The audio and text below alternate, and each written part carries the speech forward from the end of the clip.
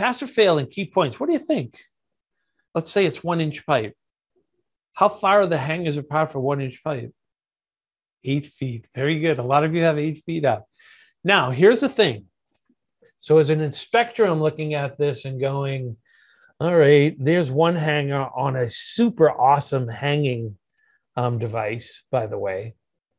And if I took the measurement along the developed length of pipe to that super supporting hanging device, I'm pretty sure that's under eight feet. Me, because I never cared how much money it costs to install hangers when I'm doing work, I would have put one like right in there somewhere too. And I think some of you on screen would do that too. But when you become an inspector and you know that requirement about how far hangers are really going to be apart, which a lot of students taking exams right now are saying, wow, shit, they better know their hanging distances. If that's eight feet, that's all I can do. Because it doesn't say anything about putting hangers at every change of direction for steel pipe or copper tubing. It does for some other things like no hub pipe, when I'm hanging no hub cast iron, literally tells me how many hangers I got to put on a corner, on three fittings, all that kind of stuff. But here it doesn't. Because some of you are going to end up inspectors someday. It is inevitable. Been teaching for 40 years. There's at least 20 inspectors out there in the Commonwealth that came to these classes. One of the things you're seeing is a vent here. Hopefully, you know why that vent is there because that's a regulator. You're looking at 2 psi natural gas. 2 psi is really coming in this way.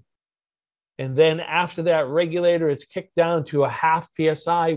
There's a rubber diaphragm or a neoprene diaphragm right under there. If you can't tell, that's why it's so big because you have the pressure from the natural gas on one side of the diaphragm, and then you have atmospheric pressure on the other side. And that's how everything is being regulated through a little bit of an adjustment under that blue cap. Why is this vent above that high? Because the plumber in this case was paying attention to when it's January. In the summer, you need to be thinking about snow. You have to have that situational awareness that if snow piled over that regulator vent, the regulator is not going to work right. And there's a lot of people that do not know that kind of stuff. Don't realize that units aren't operating like they're supposed to because they're not getting the gas they're supposed to because the regulator is compromised or it gets water in it, gets snow over the opening on the regulator, the vent opening to feel atmospheric pressure. The sun comes out, melts some ice, water drops into the top of the diaphragm. Now all bets are off oh, the unit's no good. You got to get a crane and rip it off the roof. And all the time, it's like some person that didn't have common sense that has a license doesn't know how things work. That really sucks. And it costs people money. In this situation, how you know like the direction of flow is going towards a regulator, do you have to put like the directional arrows on them on the for the label? Oh, you do not. It's a good question. Notice one thing right down here, you're seeing 2 psi natural gas. Down here, you don't, but it's still painted yellow.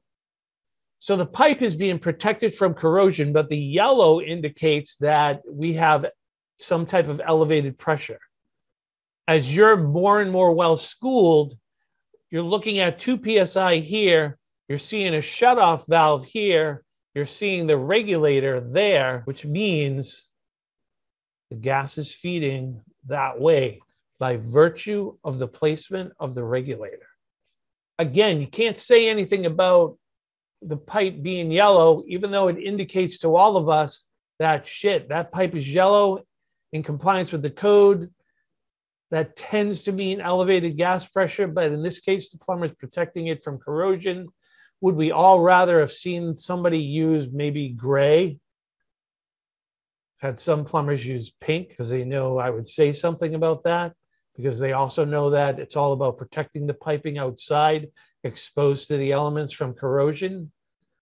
But no, what is it doesn't have down there? It's not labeled at all. And as a plumber, as a gas fitter, you're supposed to know that the reason that's there is because it's kicking it down to low pressure, less than a half psi. less than 14 inches water column.